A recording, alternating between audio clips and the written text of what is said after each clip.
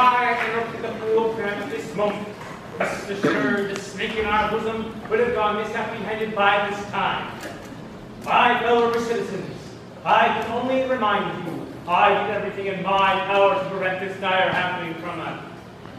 Happening. Four score. Well, what have we done to get our money back? That professor collected nearly $300 uniforms just tonight. And we haven't even seen the uniforms yet. He's slippery, I told you. I haven't seen any uniform or my boy either since after supper. He's a kidnapper. Fine situation here. Four score. Just a minute. Virtue has triumphed. The sword of retribution has cut down Professor Harold Hill. And there are those, as I have heard, who our mountain tar collecting feathers. I will not say them nay. Well, I should think there ought to be some of you who could forget our everlasting I was stubborn chip on the shoulder arrogance long enough to remember River City before Harold Hill arrived. Do you remember? Well, do you?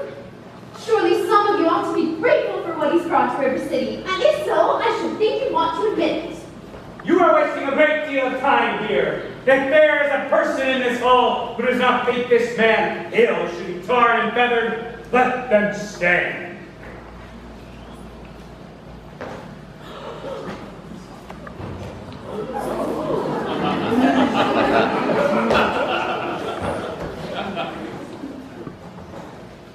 You ladies, sit down! and the rest of you standing around with your to your sheet. Have you people forgotten that you bought expensive uniforms, technical instruction books, and high-priced band instruments?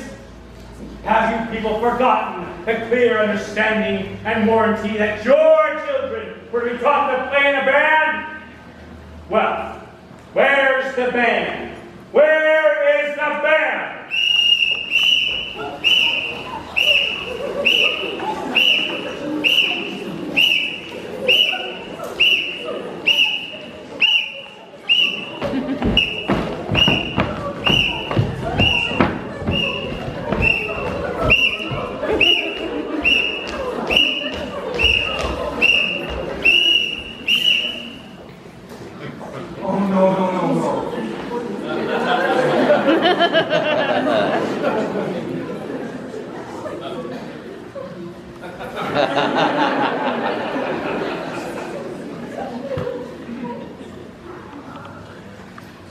Think, man, think.